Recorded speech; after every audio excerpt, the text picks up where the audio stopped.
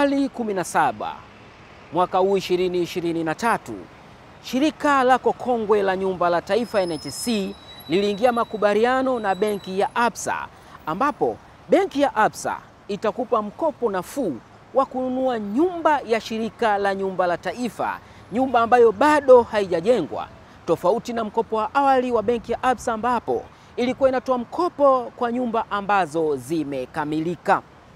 Waziri wa Ardhi, Nyumba na Maendeleo ya Makazi, Dr. Angeline Mabula Mbunge akizungumza kabla ya kutiwa saini makubaliano hayo, alieleza furaha yake kwamba ushirika huo wa National Housing na wenzao wa APSA unatekeleza azma ya Rais wa Jamhuri ya Muungano wa Tanzania Daktari Samia Suluhu Hassan ya kuhakikisha kwamba Watanzania wanapata nyumba bora.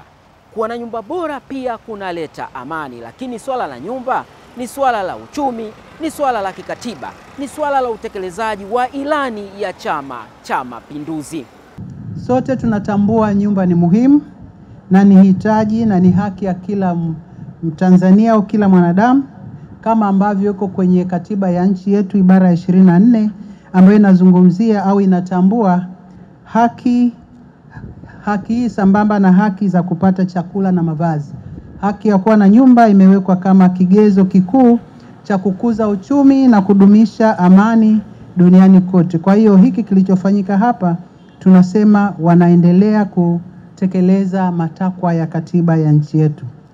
Vile vile uwekezaji katika sekta ya nyumba unachangia kwa kiasi kikubwa au moja kwa moja katika ukuaji wa mitaji, ajira, kipato, akiba na kuimarisha pia afya na elimu kama ambavyo wote tunafahamu. Serikali zote duniani zinathamini malengo ya sekta ya nyumba katika kukuza uchumi wa nchi na ni kichocheo cha kudumisha amani pia. Maana kama huna nyumba, huna mahali salama pa kulala, manake hapatakuwa na amani. Lakini pale unapokuwa na nyumba na una uhakika na mahali ambapo utakwenda kupumzika baada ya shughuli zako, amani inakuwepo. Hivyo ni dhahiri kwamba hakuna nchi inayoendelea bila kutoa kipaumbele kwenye sekta ya nyumba. Kwa hiyo nawapongeza sana kwa namna ambavyo umekuja na product zenu ambazo kidogo ziko zinagusa maisha ya Watanzania. Hivyo jitihada hizi za benki ya Absa Tanzania kwa kushirikiana na shirika la nyumba zitaipa faraja serikali yetu inayoongozwa na Dr. Samia Suluhu Hassan, Rais wa Jamhuri ya Muungano wa Tanzania, ambaye naye pia imekuwa ni ndoto yake kutaka kuona kwamba Watanzania wanafanikiwa katika kuwa na makazi yaliyo bora na kuwa na mahali ambapo panatunza heshima ya Mtanzania. Lakini tunawezaje kufikia azma hiyo kama hatuwezi kwenda na kasi ya ujenzi sambamba na ongezeko la watu? Dhamira ya Mheshimiwa Rais ni kuona kwamba sekta binafsi zinashirikiana kwa pamoja na serikali katika kutatua changamoto zinazowakabili wananchi. Mpango huu mnaoenda kutekeleza benki ya Absa Tanzania kwa kushirikiana na shirika la nyumba la taifa unakwenda pia kuwezesha wananchi kupata mikopo nafuu ili waweze kumudu kumiliki nyumba bora, lakini hivyo pia waweze kupunguza changamoto za uhaba wa nyumba ambayo inakabili Watanzania walio wengi.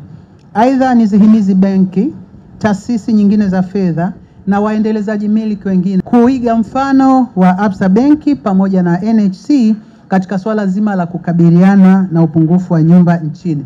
Kazi yendele, kazi yendele, kazi yendele, kazi yendele, kazi yendele, kazi yendele, kazi iendelee. Mama